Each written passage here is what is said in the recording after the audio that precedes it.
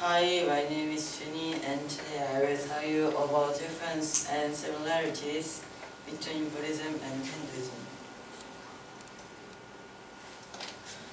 The orders of my presentation is like this. First is differences and second is similarities and third is my opinion about it and the fourth is end.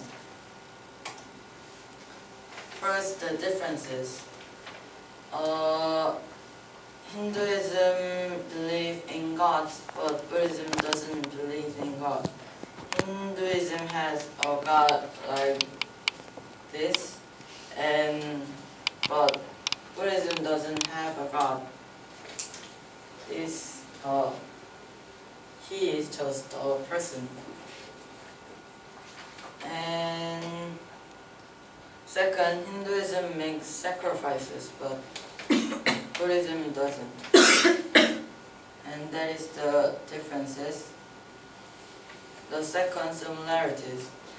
They both started in India and they don't like bad stuff such as murder or stealing other stuff and something like that. And my I think that they both doesn't think about women because they both doesn't have any stories about women in the book. So I think they doesn't think about the woman very well.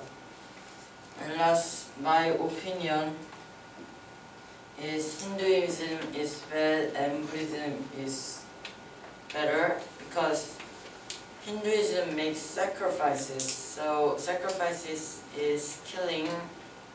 So I doesn't like it and Buddhism doesn't have sacrifices. So I think that is the better one compared to Hinduism. Thank you for listening.